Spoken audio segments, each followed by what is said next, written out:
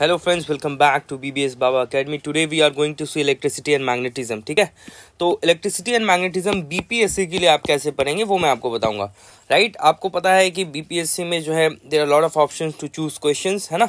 तो electricity and magnetism section B में होता है। जैसे सेक्शन ए में मैकेनिक्स हो गया ऑप्टिक्स हो गया थर्मोडाइनमिक्स हो गया, उस सेक्शन बी में आपका ई electricity and magnetism modern physics और ऐसे हो गया। तो इलेक्ट्रिसिटी एंड मैग्नेटिज्म के बारे में देखते हैं।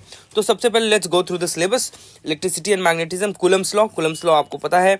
कुलम्स लॉ के Q one Q two by R square इससे कभी कभी सिंपल क्वेश्चन आ जाते हैं। फॉर एग्ज़ाम्पल जैसे यहाँ पे चार चार चार्जेस रखे हैं। और आप बताइए कि फोर्सेस कितने लगेंगे पोटेंशियल पोटेंशियल कितना है? तो ये सब चार चार्जेस ये सब कुलम लॉ फोर्स बिटवीन ये सबसे कर जाएँगे, ठीक है?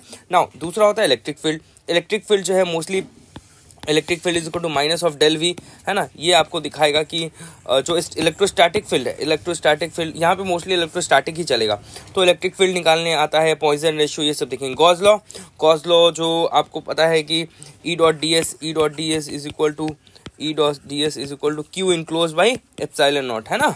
तो ये गॉज लॉ से क्वेश्चन आता है, जैसे ऐसा क्वेश्चन आता है, पहले पी वाई क्यू में भी आ रखा है कि एक स्फेरिकल चार्ज बॉडी है, जिसके सरफेस पे चार्ज है ऑब्वियसली और किसी टू आर डिस्टेंस पे, आप बताइए इलेक्ट्रिक फ़ील्ड क्या होगा? तो गॉज लॉ से बना देंगे right electric potential Poisson and Laplace equation पता है?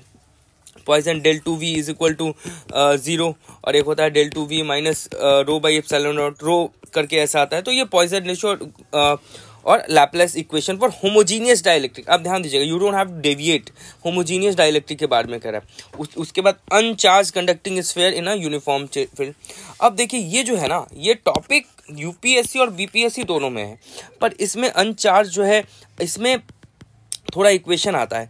ये क्वेश्चन आ नहीं रहा है बहुत सालों से, ठीक है? सिलेबस में तो दिया है। That is why my experience is important and you can also get it from previous year question analysis ये क्वेश्चन डायरेक्टली आता नहीं।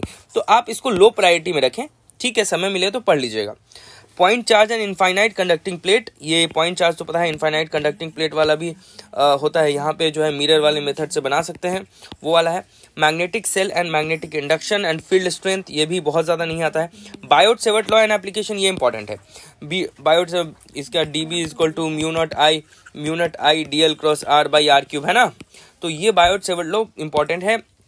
और सेम चीज़ अगर आपको प्रूव करना है तो Ampere circuit law B dot D L is to mu naught I करके आप निकाल सकते हैं राइट तो this point is important now other point is like electromagnetic induction यहाँ पे लेंज लॉ फैराडेज लॉ देखिए electromagnetic and Lenz law Faraday directly आता है। What is electromagnetic induction what is Faraday's law what is Lenz law तो आपको ये सब बताना होगा right self and mutual inductance इसका ही थोड़ा आप एक्सटेंड कर देंगे तो यही वाला टॉपिक फिर इंपॉर्टेंट हो जाता है। अच्छा अब देखते हैं एसी में एलसीआर सर्किट सीरीज़ पैरेलल ये सब क्वेश्चन आ रखा है। मोस्टली आएगा आपको रेजोनेंस फ्रीक्वेंसी निकालने वाला क्वेश्चन आता है। रेजोनेंस फ्रीक्वेंसी जैसे निकालते हैं फिर क्वालिटी फैक्टर आता है। Mu one omega one omega two फिर डेल्टा ओमेगा क्वालिटी फैक्टर ये सब ये इंपॉर्टेंट है। किरचॉफ लॉ विथ एप्लीकेशन वही किरचॉफ लॉ आपका आ, फिर से सर्किट वाला में जो है ये सिंपल सी बात है केवीएल केसीएल तो ये भी इंपॉर्टेंट है। जैसे इस बार 66 में ही मैक्सवेल इक्वेशंस जैसे मैक्सवेल्स इक्वेशन भी आपका काफ़ी del dot B is equal to zero, del dot E is equal to rho by epsilon naught, ये सब जो है, ये भी इंपॉर्टेंट है। तो मैक्सवेल्स इक्वेशंस आपको बहुत अच्छे से करना है। काफ़ी इंपॉर्टेंट है। मैक्सवेल इक्वेशन में ऐसे भी पूछता है कि जो जो equation Ampere circuit law equation है, उसमें करेक्शन मैक्सवेल ने कैसे किया? That is also important that is also been asked ठीक है? Now electromagnetic waves electromagnetic waves में पूछता है कि आपका इलेक्ट्रोमैग्नेटिक वेव का नेचर क्या है?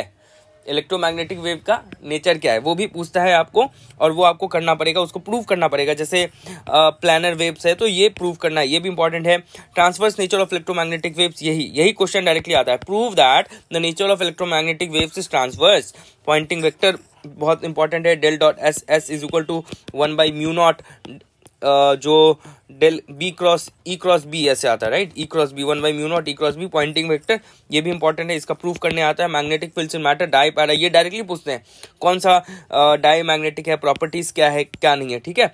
तो अब आप समझिए, मैंने जो इसके बहुत सारे topics I have already covered many of the topics on on our YouTube channel you can go and revise it और बेस्ट बात यह है कि that has been briefed in very less time very less time में बहुत small में उसको brief किया गया है। You go and see otherwise also we are going with a test series तो जो भी इंपॉर्टेंट सवाल होंगे वो हम टेस्ट सीरीज़ में देते हैं एंड हम डिस्कस करते हैं। So I think this will give you an overall perspective book कौन सा होगा? बुक uh, आपका जो एक तो ग्रिफिथ होती है, पर ग्रिफिथ थोड़ा ओवरडू हो जाता है।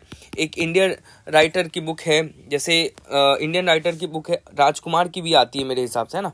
या मैं उसको कमेंट में भी बता दूँगा तो आप देखिएगा, उनकी बुक जो है, वो सही रहती है तो उससे काम बन जाता है, ठीक है? आपको नहीं मिले तो let us know in the comment will get back to you thank you very much thank you for watching